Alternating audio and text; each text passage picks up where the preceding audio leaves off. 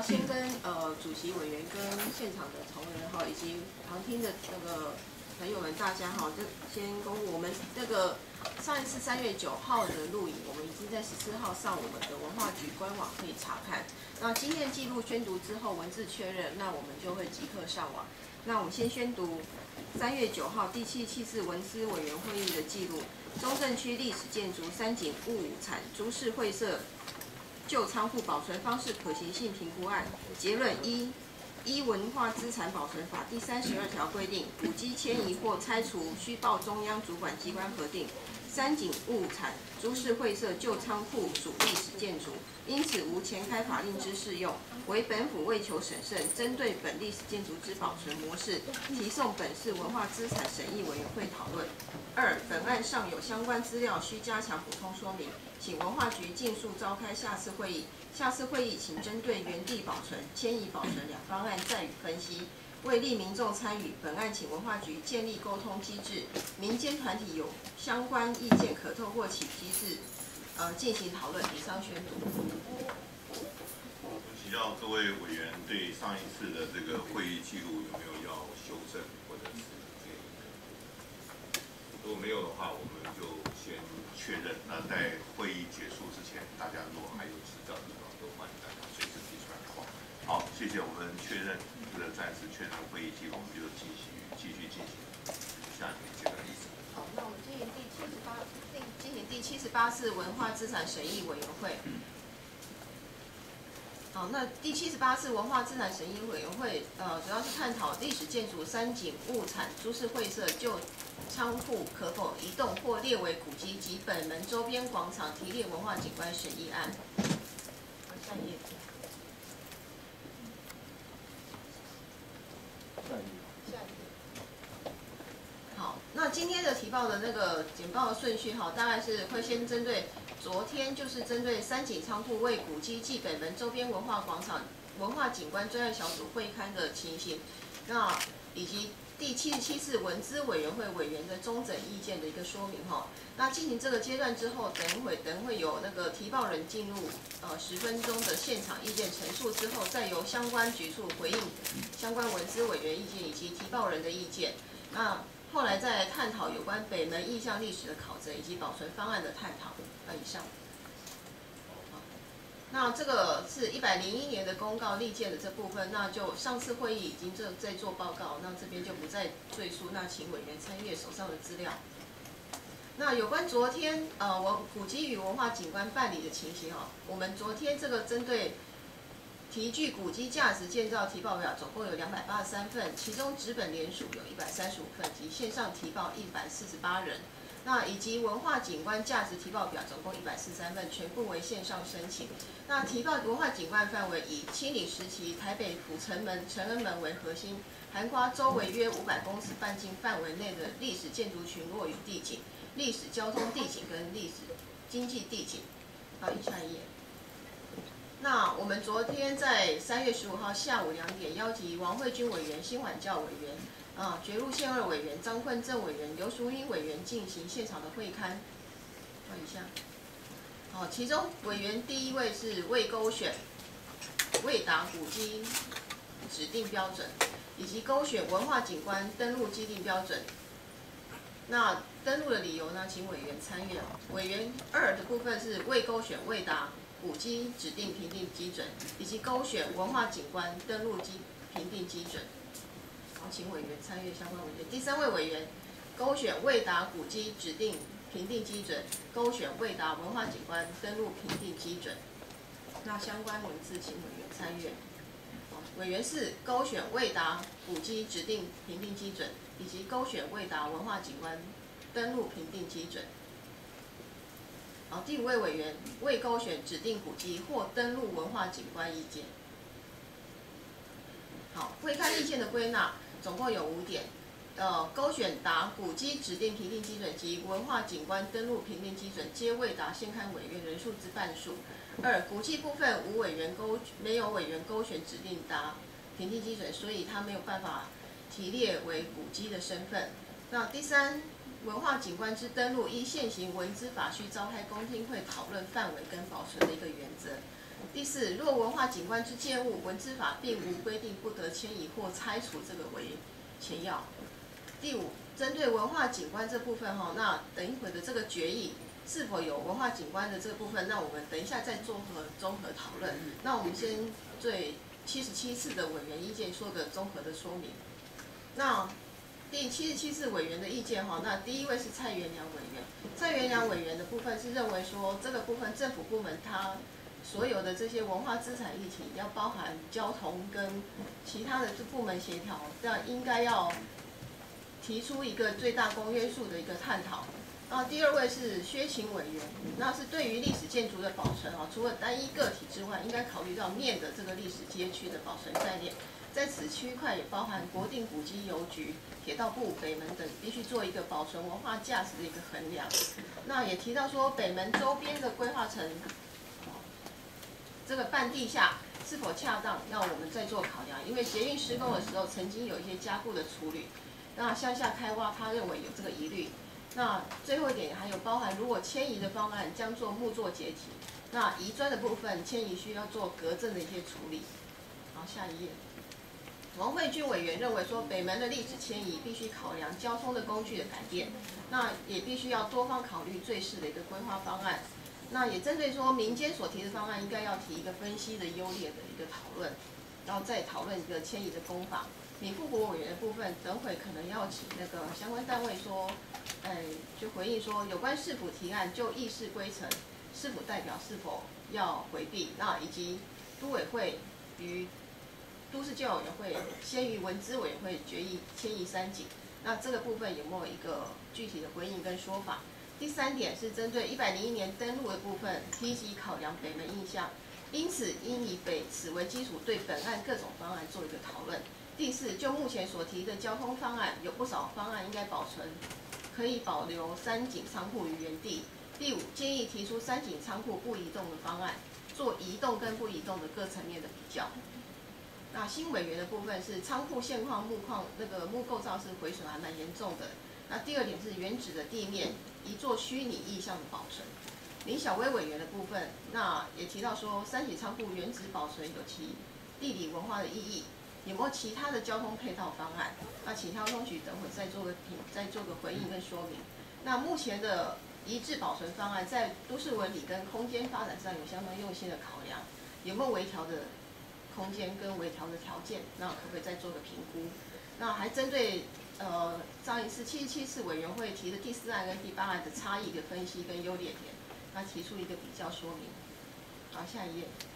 那绝路限恶部分，呃，限恶委员部分哈是都市的历史价值就现地保存是很重要的。道路建设考量应该是属于短期的价值，文化资产跟都市史的效果是要考虑比较长期的价值。那针对三井仓库历史脉络跟建筑物本身有个调查研究，张坤正委员的部分是有三点：三井仓库做计划应该尽速开始，有助有助于厘清三井仓库历史疑问的解答。那现地保存为最高原则。那为北门周边遗产群的一环，那要见证一个历史的价值。那第三点，若短期内无法实现这个理想的话，未来规划应该将现地保存定位为中长期重点工作。好下一页，郭琼莹郭委员的意见是，呃，现阶段因为交通的理由，必须调整三井仓库，应该是属于暂时性的措施，要考量未来回到原址的可能性。那交通应该再做一个通盘的检讨，那不要谈所谓的永久路行，而是现阶段的一个调整。针对三井仓库调查要更丰富，要大家关切议题要做个讨论。那黄世娟委员的部分是关于三井的相关资料，那应该制作针对现在毁坏的状况要做个现况图，那对于后续的作业才能做判断。三井的重要性不在于建筑本身，而其空间脉络有其他重要性。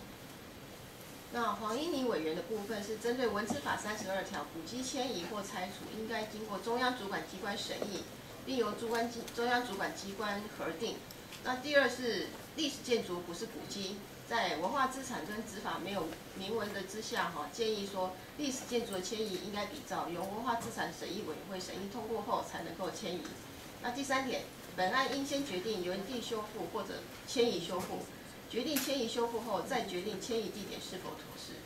那三天卷委员部分是建议针对三井个案应该详细调查，包含异化跟地质敏感区的影响。那第二点是西区门户的整体影响有其必要性，文化保存也有考量它迁移位置的适宜性，如何配合二零五零的都市景观，应将防灾的需求纳入考量。第三点是为保存古迹与利建，如果经费许可，建议引入隔震的技术的技术工法。那刘淑英委员的部分是一百零一年文资委员会决议是。应以行硕北门意向为重点进行，但北门意向的行硕并未充分讨论，让任何决议应该做更长远的规划。第二点是三井仓库为历史建筑的原因，并非坐落地点说法。那第三点，扩大民众参与的讨论。本案在民众疑虑跟争议上仍有待开放对等的讨论，建议给民众一个充分陈述的一个机会。苏一鸣委员部。部分是三井仓库的价值不应该只从单一断代来切入讨论，更重要是应该从整个地区的整体来讨论，在都市成长中寻求一个合适的方案。第二点是三井代表的产业，其中部分价值是被认同的，但是多元声音应该被尊重，应从多元角度考虑三井的意义，那才能从哪个年代去呈现累积的一个深度。第三点，认同人为人行为主的空间，应该由新的规划方式去行说。文史团体昨天呃所提案的提案，应该是依照正常的法定程序，要尊重程序才能进行沟通。方案八的部分是遭到否决理由，要做一个说明。好，以下中整呃所有委员的一个意见哈，大概有包含六点。第一点是三井仓库的调查研究的一个基础说明。第二点是以北门意向为基础的不同方案考量。那第三点是交通路行规划的一个分析，考量现阶段与未来二零五零年的愿景。第四点是原址保存的一个意义，第五点是迁移保存工法的一个研究，第六点是会诊多方的意见，全盘思考做出判断。那以上是针对第七十七次委员的中整意见的一个概率的报告。以上，那以及针对第七十七次委员会的那个民众的意见哈，有包含两个部分，一个是台湾满野新竹生态协会。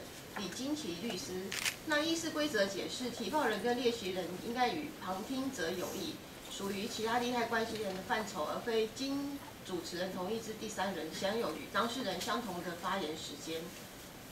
那北北三代表第一位哈是针对文古迹跟文化景观的提报单，那认为要排入议程哦。那昨天已经进行那个现场的会开哦。那第二个是主张都发局跟公务局应该利益回避。第三点是三井仓库争取原址保留。第四点是从三井仓库的价值来思考。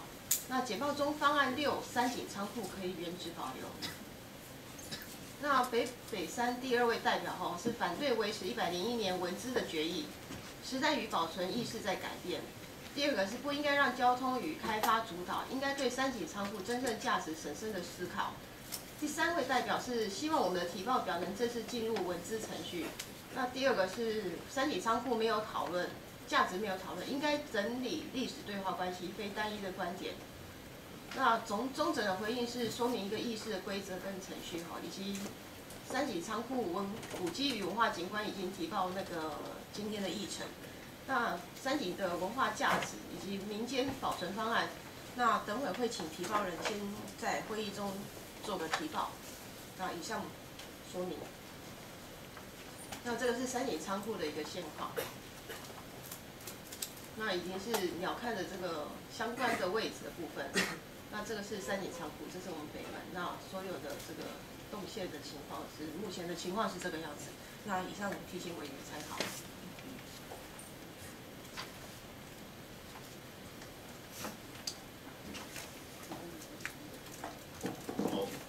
这个我们针对上一次的这些中整的意见，那么待会我们再请这个相关的部分呢必要的回应跟说明。那我们这个阶段是先请这个提报人来这个陈述意见。对，那我们先请提报人陈述意见十分钟。那呃有没有代表哪位要要提报？我们去请教，我们去请教。原来原来有。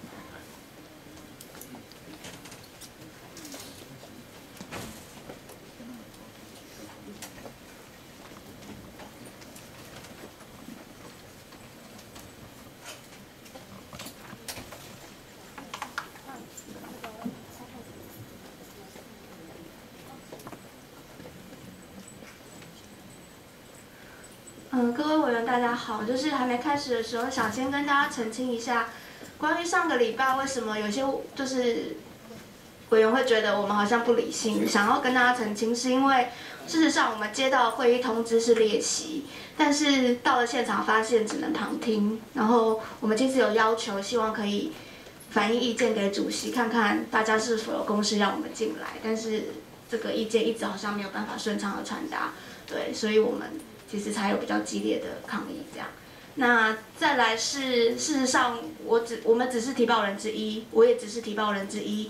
就这个礼拜，我们又多收到了八十份的提报表，对，那可是很可惜，就是说我们在议程的处理上面好像这么赶，所以这几天，这应该是昨天晚上，我们发现很多朋友其实是现刊都过了才收到现刊的通知。那这件事情到底程序上面不符合，是否要让？这个讨论在今天做成决议，可能我们也是认为最好是是不要对。那这是程序上有关两点。好，那其实首先要说明一下，就是稍微介绍一下三井。哎，我我我可以有光笔吗？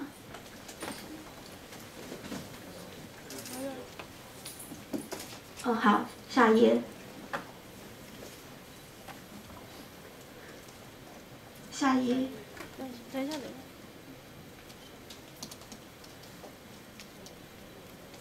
就其实我还是想从三井物产的一些简介开始说。那这个是其实是稍微勾勒一下，因为我们这次有一个很重要的提报是文化景观，那么就把所有有关这附近的我们认为是台湾现代化一个蛮重要的几个时间，嗯，几个据点哦，包括清朝的机器局啊。还有北门有呃北门，然后都把它画出来。好，下一页。好，那这个是我们从网络上找到的，事实上其实也不多。那从网络上找到关于三井物产株式会社这这几年的一些变化。对，下一页。好，那其实要跟大家介绍一下这个公司，就是。它不是一般的公司，为什么这么强调它重要？就是它其实是日据时代非常大的财阀，就是大概跟三菱吼是大概就是那个那个规模等级。那想跟大家介绍一下，虽然这个故事听起来发生在日本，但是我觉得在日本发生的事情，在当时的整个国际背景里面，其实都是跟台湾息息相关的。好，第一个我要讲说三井是怎么发迹的，可能大家对于。木墨跟明治都还有一些了解吧？那他其实很好玩，他是一个本来是一个从武士转成小商人哦的的一个过程。那但是在木墨的时候呢，因为那时候有很多的动乱，那他其实基本上就是靠帮幕府做和服，然后帮幕府跑腿，就是呃做一些银两的交换，可能在大阪收取银两之后，然后呃可能到东京。哦，江户兑换这样，他专门是做这样子的工作。那后来呢，在在真的在默默，就是明治两边政权在呃在斗争的时候呢，他大概就是选择了双边都押宝。然后呢，后来就成为哦不好意思打错，明治维新里面很重要的经济侧翼，那就是成功的转型成政商。所谓的经济侧翼是说，他当时其实。呃，给了幕府军就是打仗的经费，同时也给明治政府打仗的经费，就是一个很聪明的商人。那后来是因为明治政府取得了政权嘛，那所以呢，他其实就也蛮顺利的。就是明治政权有很多维新，比如说他们想要发展在地的纺织，那所有的机械呢也都是交给三井代理进口。可以就是可以感觉到它其实是有蛮重要的经济的角色。那后来呃在。明治维新之后，就开始想对外拓展他的实力嘛，那就开始有很多的战乱。那呃，比较跟我们相关的，比如说是甲午战争。那甲午战争之后，其实他们就取得日本就取得台湾跟朝鲜。那台湾几乎就是日本的第一个殖民地。那当然他们。然后再加上一九零五年的日俄战争，那它等等于是整个势力进入满洲。那这个跟台湾是什么关系呢？就是一来当然是台湾是作为殖民地，二来是你可以看到三井物产其实基本上在这段时间都是透过日本的扩张，不断的在扩充它的实力。那到台湾来之后，等一下会有台湾的故事。那在满洲大概它就是什么鸭绿江沿岸的森林全部都是给他砍这样。好，那哎上一页。那后来，再再近期一点，到了一战的时候，它真是整个完全是它大爆发的时间。就是一战时间的时候，因为西方一直在打仗，那其实他们是没有时没有时间顾到我们东方的市场、亚洲的市场。那那当时其实就是三井，就日本的这些财阀们就趁势做大。一来是比如说德国啊这些比较先进的技术没有办法，因为在打仗没办法输到日本嘛。那但没有关系，就是他们就也趁机，因为这样，所以日本里面自己的本地的产业有机会就开始培植自己的实力，发发展自己的技术。那同时就是说亚洲的市场，他们也就慢慢的取代了欧洲。好，下一页。好，那他来台湾之后呢，大概也就做了几件事情，因为可以看到前一页比较是在叙述说他其实是跟着日本政府的武力到哪里，他大概就会。他的生意就到哪里。那在在他来台湾之后也一样，就是因为他如胶似漆的关系，所以在一八九六年，就是日本占领台湾的第二年，他就来台湾了。那他主要负责几种工作。就一开始的时候，其实台湾当时还有很多，就是台湾通就是港口开开开港之后的几个很大的洋行哈。那时候基本上三井大概就是一开始总督府并没有把这些洋行赶走。哦，他是就是有点让三井在旁边也做着跟他们类似一样的生意，但是同时是学习以及想办法，就是去取得跟这些洋行的对口的生意的单子，就是这样子来的。对，那后来等到大概他们总督府的的基础稳了之后，他开始就跟这些洋行解约，比如说我们的樟脑的专卖权就被解约，那后来就这个专卖权就整个就交给三井。那再来就是呃。比如说，他同时呢是一个，就是刚刚讲到说，其实他会代理很多东西。他其实从很早期就一直都在做，比较像是金融啊、出口代理这种工作。对，那所以他其实是一个蛮本来就是一个流通业者。那到了台湾之后呢，他同时也经营生产部门，也就是像我们的茶叶或是樟脑啊，基本上他就是又又是卖东西，然后又又呃等于就是一条龙的经营就是了。其实是一个蛮大的。垄断的经营模式。好，那这个台湾制糖其实蛮有名的。我们的糖厂在那个呃桥头，在高雄的桥头，当时那个投资基本上也是总督府找来三井成为大股东。对，这些都是要来佐证说三井跟总督府其实是有很密切的关系。下一页。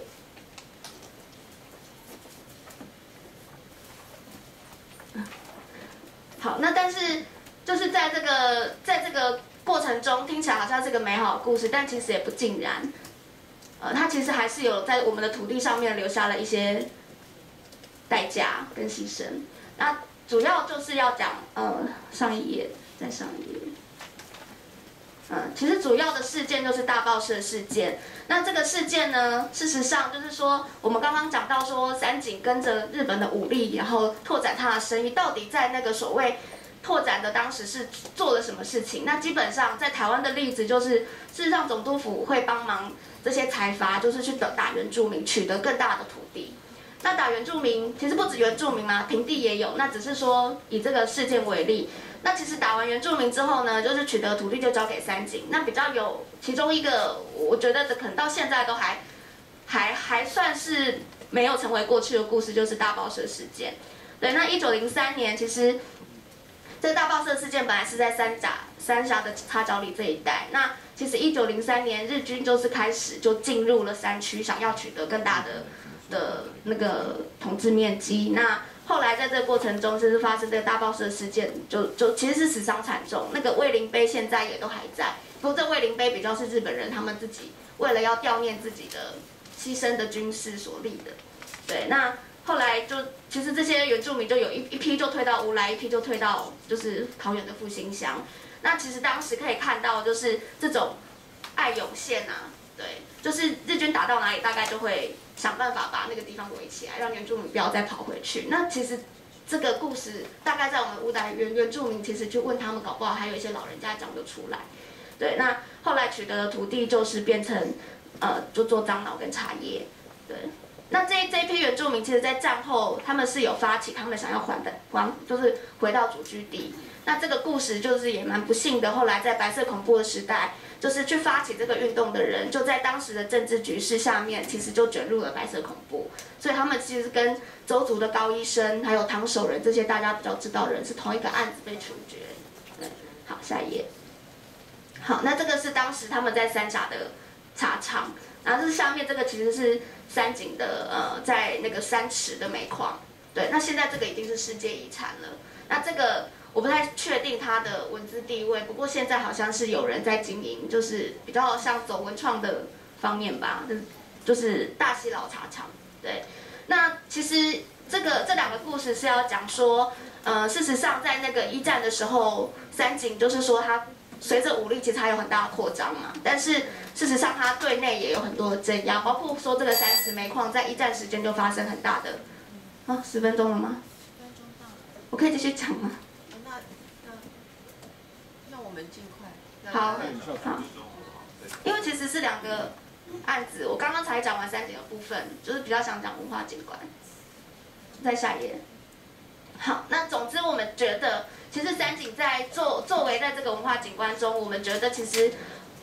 啊，它其实是可以说一些丰富的故事啊，比如说是台北邮局、三井、北门、北三线到这一组关系，我们觉得其实可以说台湾从清朝，然后到日据时代，甚至到战后都有很大的呃，就是反映统治者怎么想象这个空间啊，就那些政策其实都反映在这空这个空间里面。下一页。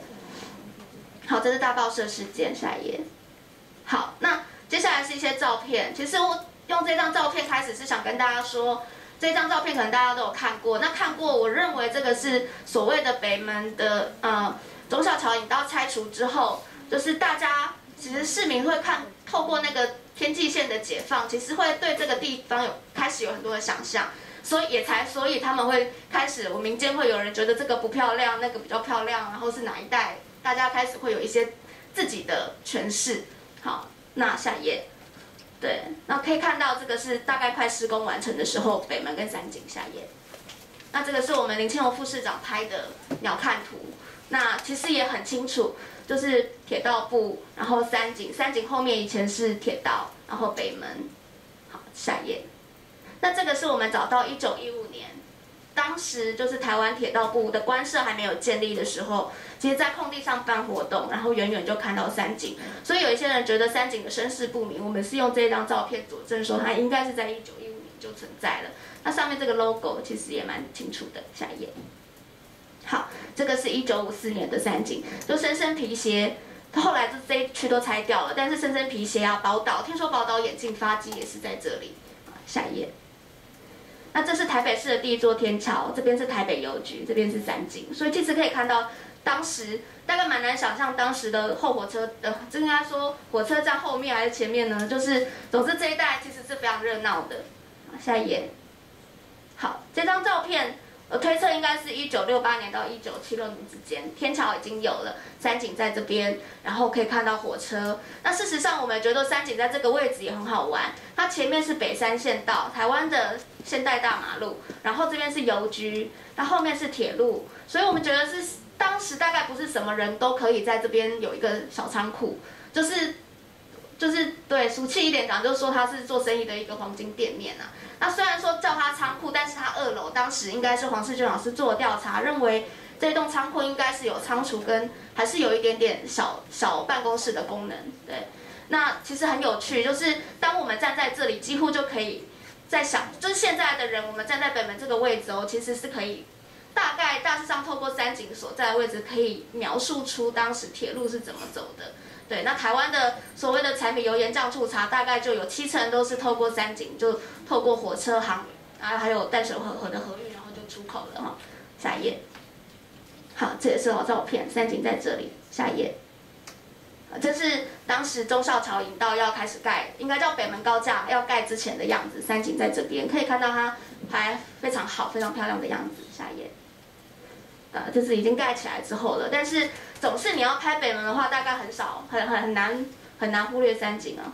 下一页，对，好，再下一页，好，这个是从延平南路往南边看，下一页，好，这个是拆除前的空拍，山景在这边，好，再下一页，好，这个是拆除后，就是其实很想要说。用这张图是想说，现在大家一直都在说三井好像阻碍了交通，可是其实如果真的要用交通论交通的话，也许北门才阻碍交通，说不定其实很多民众都跟我们讲说，那为什么不北门退后十公尺就一切都没事了？这也是一个观点。好，下一页。对，其实可以看到挡路的不是三井，就是上一次现开的时候，交通局说有公车擦撞，我们也知道公车擦撞。但是虽然我知道交通局有数量说几起公车擦擦撞，但问题是在地的民众都告诉我们，他们觉得真的不是三井，对，因为这这栋建筑在这边这么久了，然后居民也住在这边五十年了，就是从来也没有发生过擦撞，就是所有都是对，好，就是问题出在哪里应该有点清楚哈，下一页。对，那这个是引用，就是一九七七年我们蒋乃馨议员的爸爸，就是蒋干生先生，他其实当时北门要盖高架桥的时候，也是被说可不可以请他移开。好，那为了要移开他，当时的呃议员们也是伤透脑筋，找了很多似是而非的理由，比如说对北门好哦，比如说，哎，我上山景也常常被说。仓库干嘛？就是古古迹不要离路那么近啊，离路这么近，人路过市民就不可能亲近他啊。当时大大大概是这么想象北门，可是还好北门留下来了，因为留下来了，所以我们后来才有机会看到它。哈，当时路就选择绕开北门。对，那这个是台北市议会，我们猜想当时蒋干生先生应该就是在这里面开会，不过不是，很可惜，市议会也拆掉了，而且是公部门的手自己把它拆掉的。下一页。那这个是就是也是我们的关心山景的朋友做的一张图，他其实是试图想要告诉大家，就是这些街屋其实在一九七零年代也是非常非常摩登的街屋，现代的街屋，包括我们看的那个被大家笑说是中华民国美学，其实在当时都很漂亮的。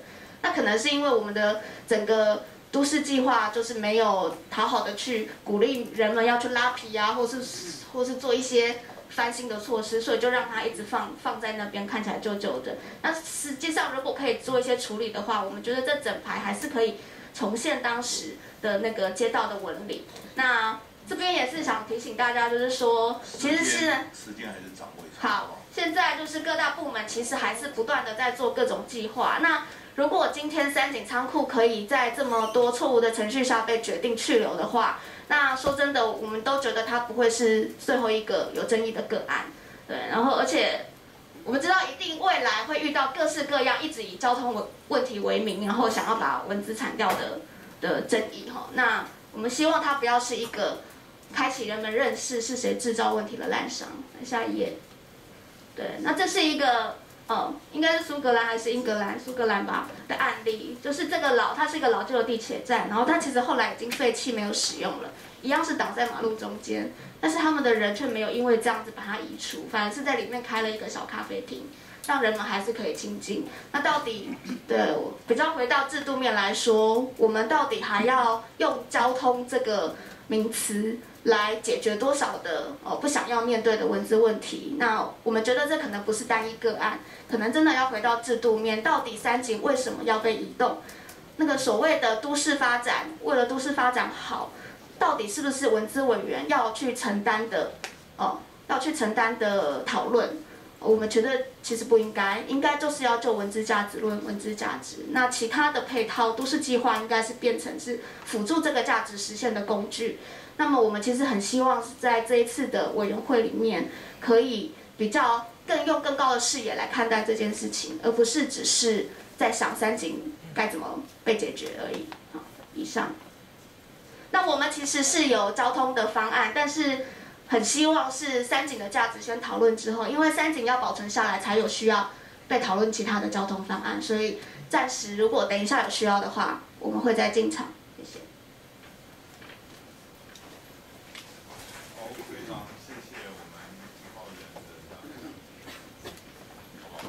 接下来继续就是说有这个。相关的这个提出来的这些焦点，相对应的举出有要回应的吗？有没有？我刚刚这样听，有没有回应？可以用简报的方式回应吗？可以啊，可以。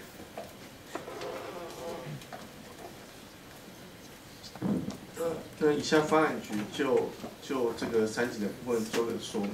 那基本上我今天的简报，呃，当然我先，我还我还我们从半年来的沟通，基本上我们还是尊重这个这个这个提案人他们对三井的这个历史的诠释，我觉得他们诠释的是他们的一些价值，所以我们在过程当中，其实方案局在这过程当中，其实有做一些逐步的一些讨论跟一些呃变通，我必须要先在这边做一个说明。那我们今天要提的部分其实是说，呃，我会分几个层面来说。第一个是我们还是强调一个是北门的精神跟文化资产群的这个部分。那第二个部分我会针对上一次委员的一些的比较重要的一些议题，我做一些回应。那这大概是我今天简报的一个内容。那这个是之前立建的这个公告就不再赘述。那呃整件事情其实呃呃我们会提出来这样的一个方案，其实是呃大概呃在呃大概是我们是主要是针对北门的，我们希望把北门这样的一个历史的一个场景重现。从一九呃一八九五年这张旧地图可以看得到，北门在这个地方的时候，它其实有几个重要的一个。一个地理的资讯，就包括我们常常讲的，就是呃，针对七星呃，针对七星山的部分。那它这里面也有一些接官亭、护城河等等。那它其实最重要的部分是跟北门跟城内的一个关系，其实是密不可分。可以直接按一下那个。所以我们在整件事情，在呃我们在规划的讨论当中，其实我们是希望说能够建构整个。以北门为主的一个文化的一个历历史的一个资产群，所以我们在规划的时候，其实我们强调几件事情。第一个是说，整个呃往北七星山的一个轴线，它其实是要被一个呃保存跟维护。那另外，我们希望把方向错了，七星山不是这个，哦，是跟这个圆山饭店那个七星山，这边是那个延平路，这个不是。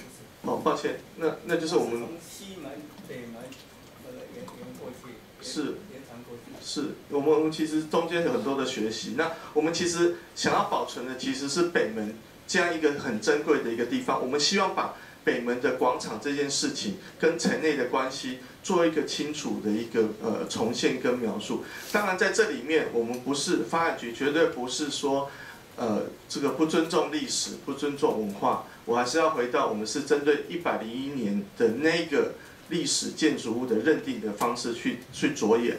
我们希望这样子一个历史群，能够因为北门广场的这件事情，能够把整件、把整个历史呃文化资产的这件事情，整个重新再做一个诠释跟塑造。那在这样的一个交通下面，基本上呃，我们认为三井是应该要被移除，不是移除，是呃移移置保留。那另外一个部分，呃，不好意思，我简报我也会有错误啊，你们可以一直笑没有关系，可是不要打扰议事的进行。从以前就是这样的一个开始，呃，不好意思，我可能也会有一些情绪。那我必须要强调的部分是说，从从之前我们跟北北抢救北北山在整个对谈的过程当中，其实他们也是希望是说把整个周遭历史群的部分去做一个保护跟一个。一个一个一个一个一个一个对话，其实台北市政府其实也是在这样的方向做一个努力。当然，在沟通的过程当中，我们会一直在修正我们的一个方向，这是我必须要说。可是，在整个我们在程序上，基本上是尊重文资跟民间的这个成型的团体的目的其实是一样的。那整件事情，上次其实有委员提到，到底都委会到底有没有这个程序，到底对不对？我必须还是要说。呃，在都委会的决决议上面有一个附带的一个决议，讲得非常的清楚。这个方案如果经文资委员会决议足以影响本都计划的内容，我们另外要再重新再提都市计划，再去做一个讨论。所以基本上我还是要强调，我们并没有不尊重，或者是都委会并没有不尊重文资委员会的一个决议，它有一个但书存在。下一章。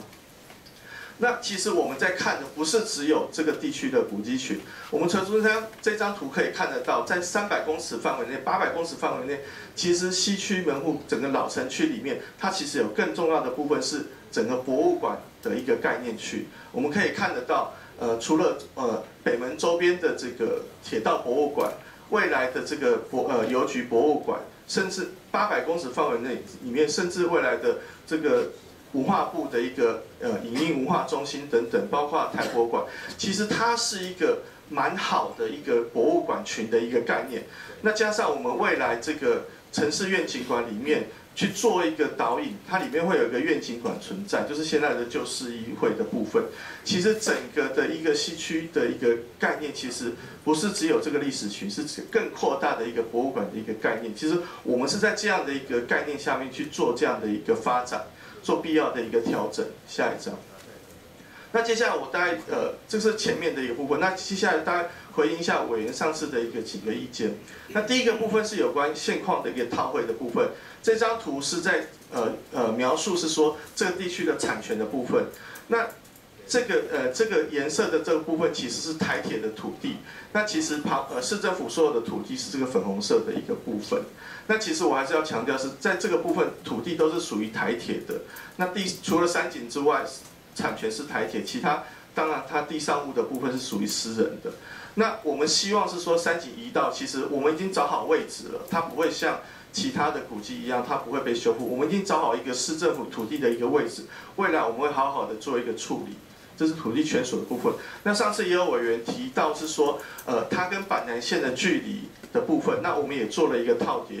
从这张图可以，其实可以看得到，这个基本上它是离板南线呃的这这个隧道区，不过是有一段距离，基本上是没有重叠的。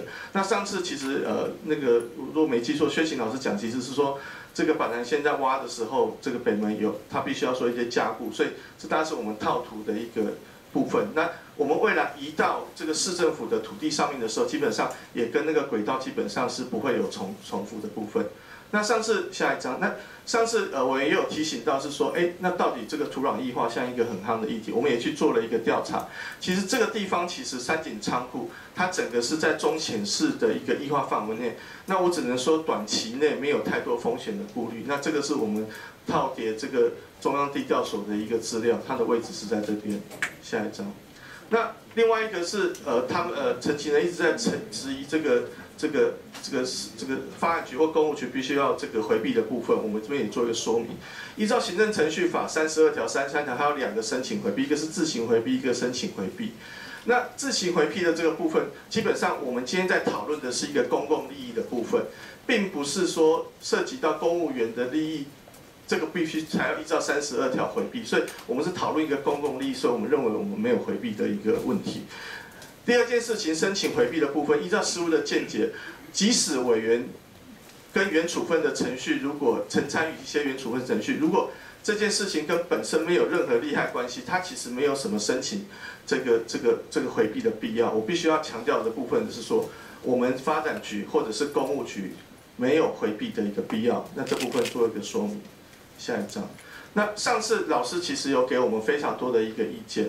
那我呃交通的部分，呃这个我我会尽快的说明。我只是回应上次，因为上次有委员希望我们还是把交通做说明。那我们今天在委员的报告里面，其实有一份是交通局的一个所有的报告的评估。如果有需求的时候，待会可以请呃交通局的科长再上来做一个简报。那我这边很快的还是把它带过。基本上在过程中，我们有原子。原子保留的方案其实都有一些讨论，那我们也有一些迁移的方案跟原子保留的方案，其实过程中都有一些讨论。那我必须还是要谈这张图会一直重复，是说我们是希望把整个这整件事情是恢复在北门这个重要的一个国定古迹，它是唯一四个城门里面原貌的这个部分，我们希望把这件事情像珍宝般的一个地标能够展现在。大家的面前说必要的一些调整。那交通的部分我不细谈，我只要想呃这边只想谈的部分，在我们的这个综合评估的方案，其实它在人行的动线上面基本上是比较顺畅的。那当然，当然这个陈情人会说我们我们可以用天桥什么样的方式，可是我们也知道很多的状况，现在天桥都已经拆除，人就是要走在平面上面，所以我们认为这样的一个方案其实是对。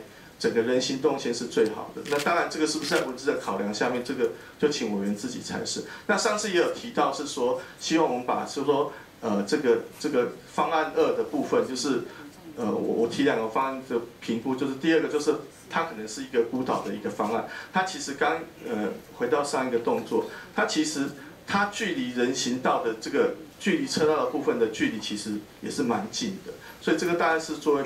的说明，那交通的部分有交通的一些考量。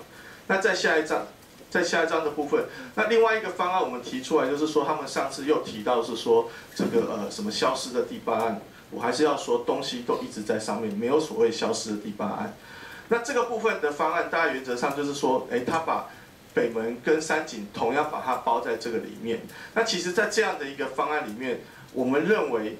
它除了变成孤岛之外，它其实把整个城内的一个关系其实都给打破了，就是它变北门跟城内的关系基本上是被切割出来的，所以我们也不认为这样是一个好的一个方案。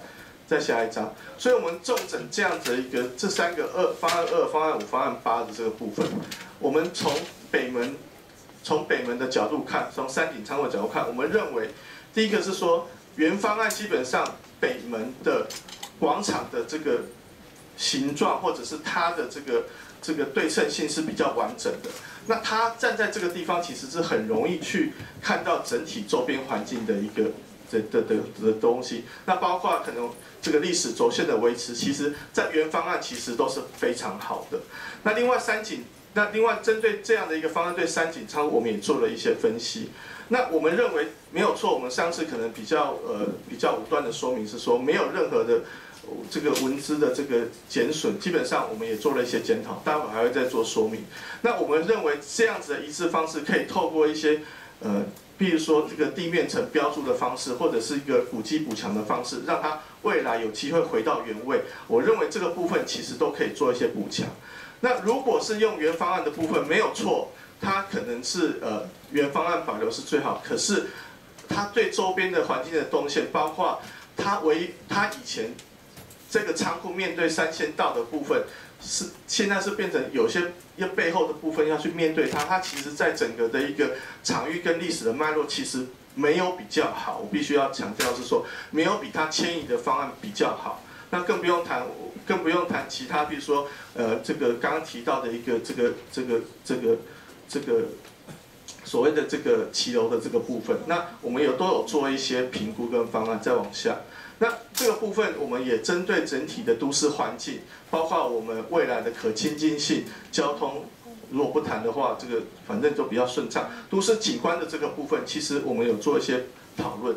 那上次委员也有希望我们做一个说，现地如果维护的价值是大概多少钱？我们大概评估大概是一千七百五十万。如果在现地保留只做修复的部分，它的钱当然比较少。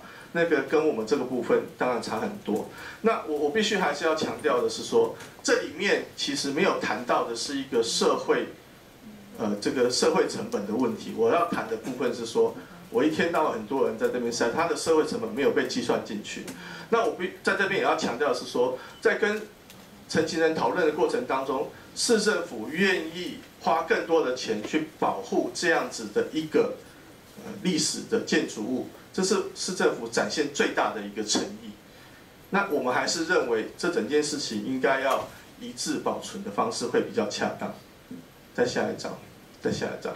那我们上次这个内部的部分我们就不再做说明。其实我们上次呃呃这个前一张，我们上次委员我给我们很多的一个意见，基本上包括历史测绘调查应该立即着手，基本上我们都会依照。文资委会的建议，呃，全数采纳，我们会去做力后续的一个处理。这部分我们可以在这边做一个承诺。下一章，那我们在这里要跟各位说明的部分是说，上次有提到是说。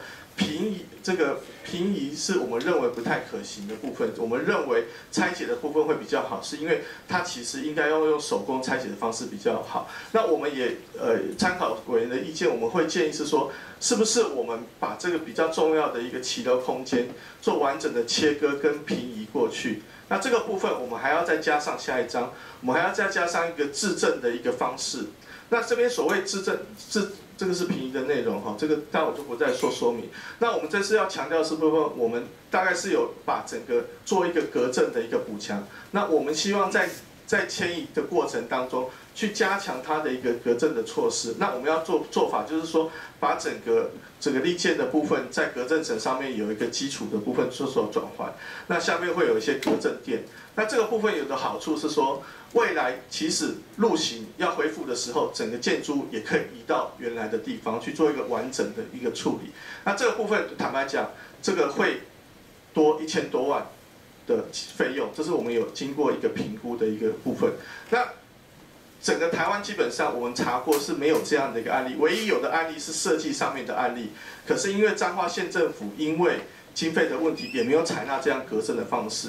所以如果这个案子做出来的时候，其实在隔证方面可能会是在文字里面是一个比较先进的一个做法。那我们在这边去做一个这样子的一个承诺，那这是经费修复的部分。下一章。那我们呃，我们呃这个部分大概上次有谈到，就是再利用的部分，我们会把它移呃这个迁移之后去做整体的一个环境的一个改善再利用，那就包括整个上次谈的一个记忆仓库的处理。那综合性的回应基本上呃下一章没关系，呃下一章我。呃，我们还是希望是说跟委员再做一个最后的一个澄清。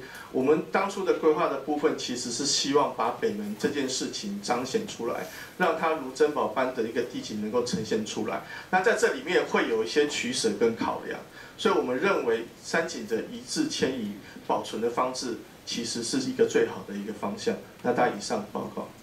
好，谢谢。我们其他单位还有没有要补充？呃，报告主席，文化局要。做个回应。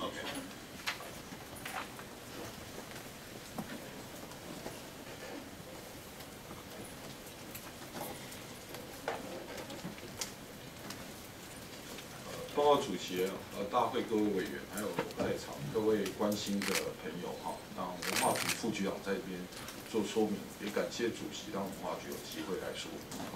当然，文化局先要跟大家报告的哈，那我们还是回到前面的图啊，前面有两张图。啊，跟大家先做说明哈，让大家都可以看到哈。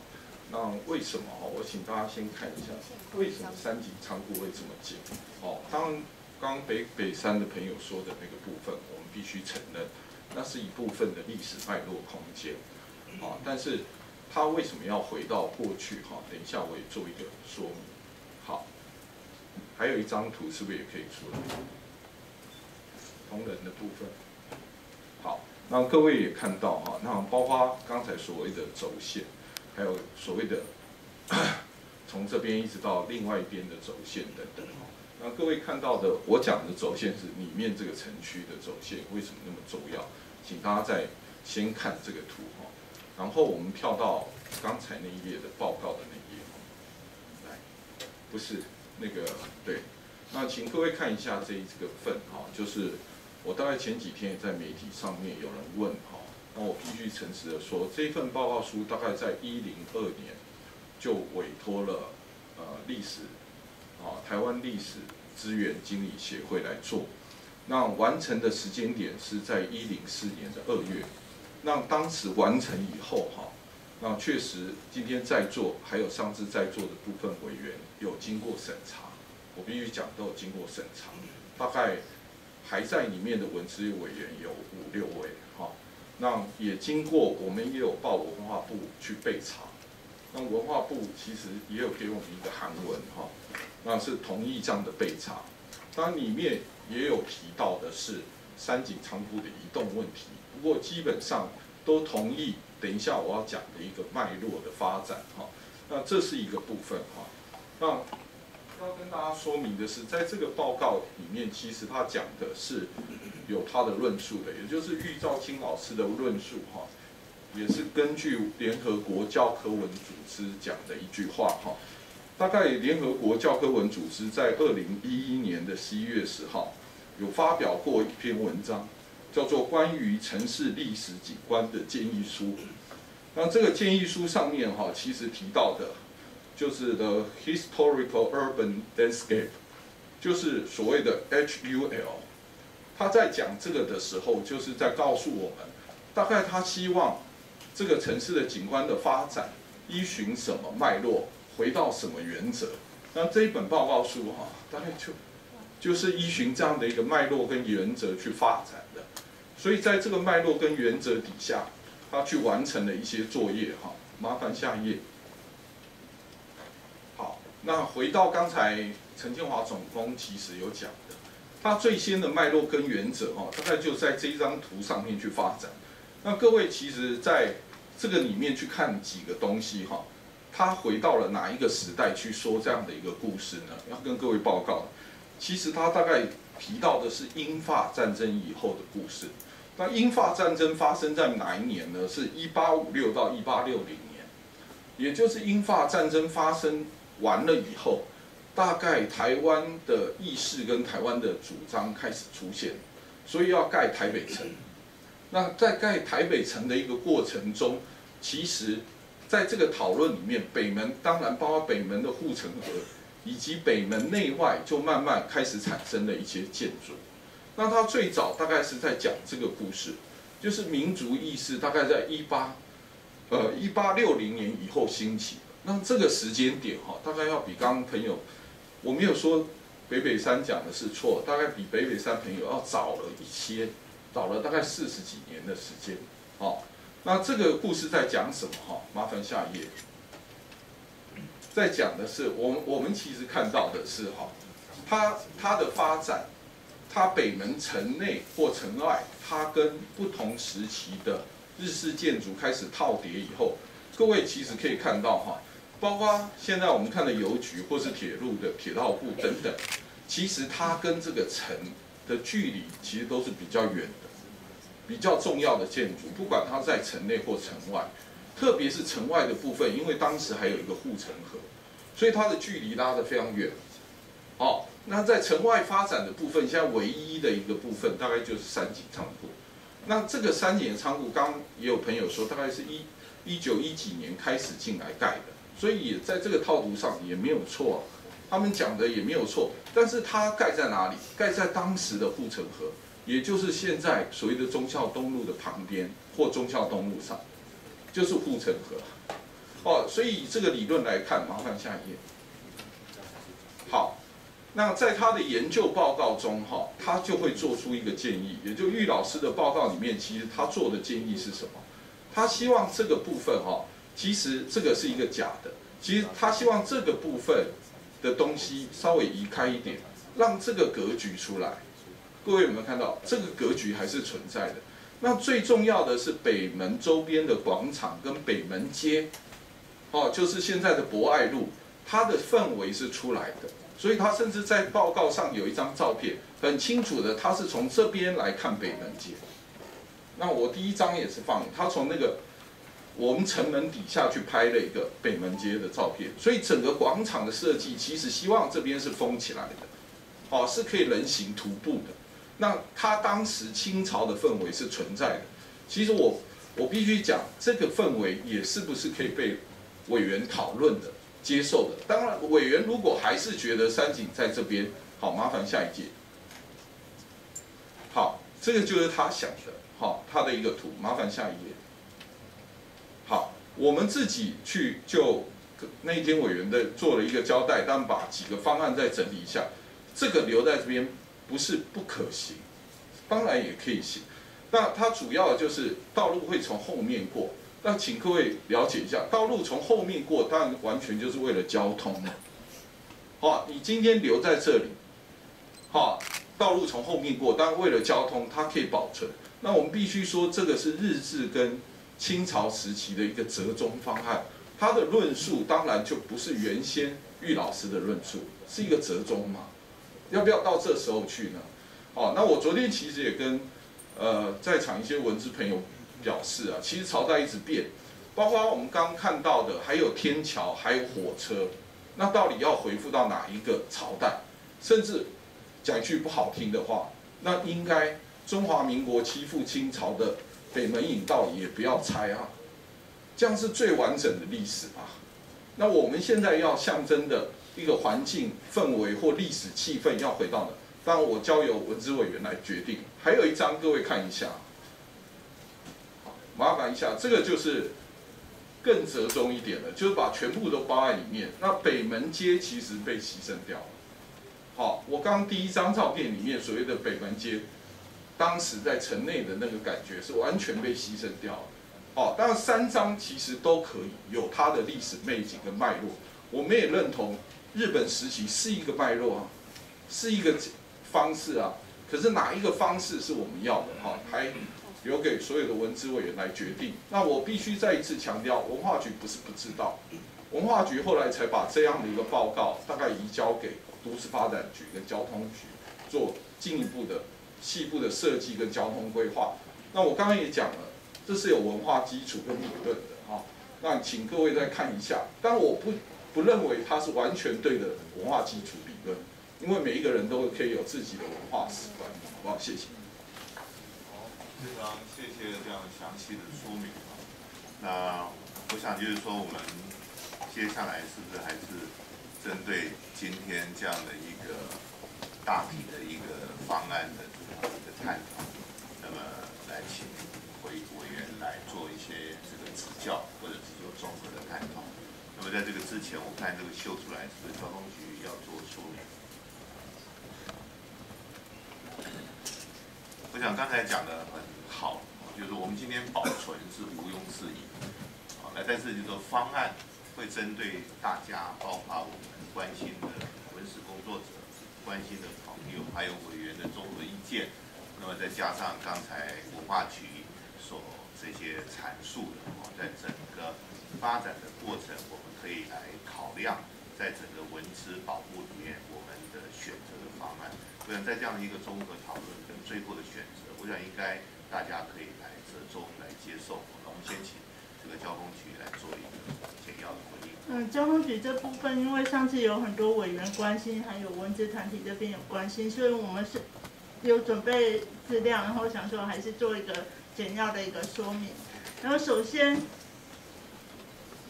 首先那个嗯，针对这个案子，其实我们在看的是针对整个北门周边来来探讨整个周边的一个交通问题，并不是特别针对山景或者是什么嗯北门单独这件事来看。如果说如果说大家嗯，可能包括文职团体之前都会觉得说，诶，我们为了交通牺牲了文资这件事情，我们必须回头来说，如果我们一直把交通放在最上位，我们不会去做中校桥引道拆除的评估。我们做的这件事，主要还是因为我们考虑说，嗯，在整个市府，嗯，在以北打开北门、扩大北门为前提下，所以我们。交通单位一直是很支持说把整个古迹群重现，这个是我们的的一个前提。可是也因为在这样子的前提之下，我们现在北门已经拆除了。事实上，我们面临的是那个车道数已经少了两个车道。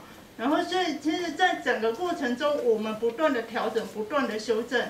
然后，嗯，现在是现在引到拆除后的一个情况。那跟文字团体有说过，诶，以前这里都不会发生事故啊，为什么我们要做这件事？其实从这张图就可以看得非常清楚。嗯，在北门拆除前，其实西往东的主要动线它是上桥走的，其实，在平面车流它是它是相对单纯的，就是单一方向的一个使用。可是，在引道拆除后，这个是这边线况的路型，其实整个从东东往西方向。嗯，无论它是要往北、往西的，全部都是要经过这个点。这也造成说，事实上我们现在面临的一个问题，我们必须要去处理、要去面对。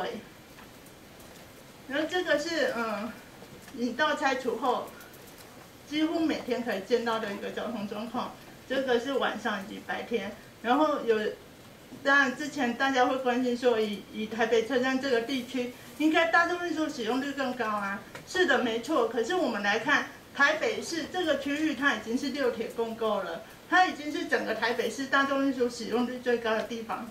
可是现在我们确实面临的状况就是，就是这两张照片很明显的呈现出这种情况，而且这种情况是靠什么维持的？是靠着现况有大量人力在那边维持，每天大量的人力、大量的警力。只要有一点点小差，一点小冲突，立立即排除，才能维持住这样子的一个状况。人也因此，事实上，我们真的是面临到中校西路是需要双向四车道才能够营运需求的一个情况。然后我这里面也有提出交通量数据的资料，这个是在嗯未来未来整个路型在重整之后，预计在中校西路。东西两项，它叫坤峰所需要的一个那个通过的一个车辆数，其实它就是需要双向四车道来做一个营运。也因此，在这个前提之下，所有的方案我们都是以双向四四车道来做一个配置。然后更重要的是，我们关心的不只是车的问题，重点是这边的人行，还有这边安全性的问题，更是我们要关注的一个重点。然后也因此，其实左边这张图就是现在引到拆除之后的一个情况，这边是现况的人行动线，我们可以看到人如何接近北门，如何在这边，就算他不是去北门，他东西向如何穿越。其实我们可以看到，无论是到北门或者是东西向南北向的一个人行交通，其实那都是非常不便利的，所以我们才会提出这样子的一个方案，希望北门广场。在扩大之后，其实它对人行是非常有帮助的。从这张图就可以看出这个它本身的一个效益。那在车行安全的部分，也同样的是，其实我们可以看到现现在的路型，它在那个车行动线是非常多交织点的。就在交通上面来说，越多交织点，就表示它潜在的风险是越高的。所以因此，这也是为什么我们希望可以调整这边的方案。让它整个整个交织点还有车行动线简化，来提升整个安全。因为安全还是我们在交通上最重要的一个价值。然后这边也是刚刚提到的一个课题，就是在引道拆除之后，因为这边山景前面交通量无论往往哪走都是经过这里。这个是引道拆除那几天，每天在这都发生擦撞。而且因因此，为了解决这个问题，其实我们在这里现况是把整个人行道做了一个削减。现在的人行道距离距离山顶的距离不到一公尺，这个是现在面临的情况。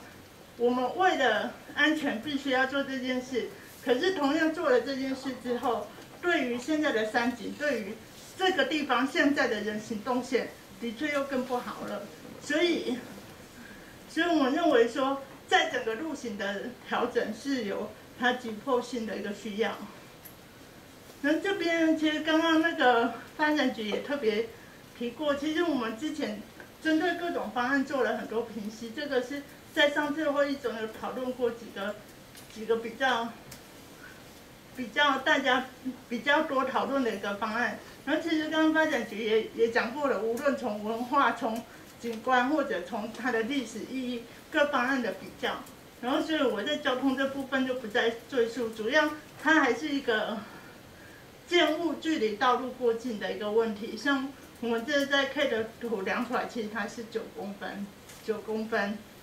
好，下一个，然后在同样的在上次嗯文字团体有提到的方案八这个，其实在北侧也是同样的问题，而且在南侧的。问题更是它的道路路型呈现一个波浪状的一个路型，这其实在安全上是有顾虑的，所以我们也是认为说这个方案是有疑虑，然后也因此在很多不同方案，当然每个方案也都有它的优缺点，在这种情况下，我们还是认为说当时我们呃市府整体提出来的方案是一个比较好，在交通上可以处理的一个方案。好，以以上补充结束。好，还是一样，都非常谢谢大家。就是说，我们在上一个阶段已经针对我们这个案子的这些相关关心的朋友，他在理念上的主